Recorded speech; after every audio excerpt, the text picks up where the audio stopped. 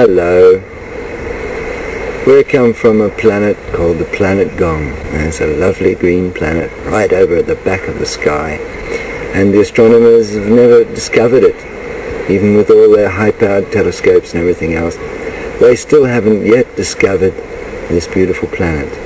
Fortunately for us, because we didn't want to be discovered.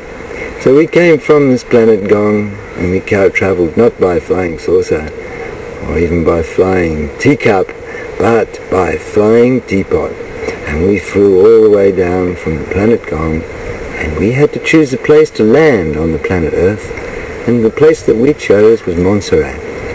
And I believe that this is maybe the first time that people like us have ever played in the Church of Montserrat.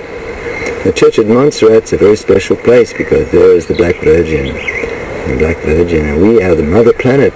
Planet Gong is a mother planet. It's a lady planet, the mother force, the divine mother force. And we've come here because of the divine mother force. And we're going to play in the church with the help of the Virgin.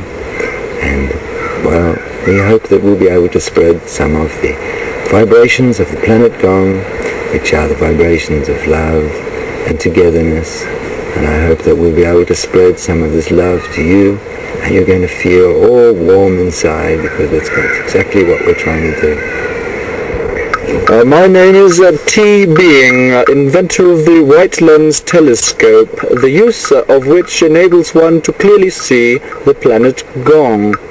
All I can tell you about this telescope is that it operates by means of the principle of the birotationary spiral. Hello. Gong beings say I'm Zero the hero, the darer who did dare to fly, and people ask me why. But my motivation is incomprehensible.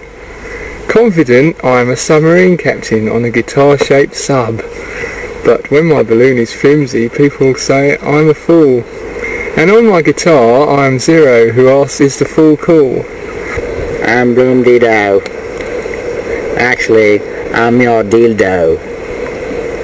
I haven't much hair, but I'm right here. I play the horn for you, and to say the truth, I'm like a rose without any thorn.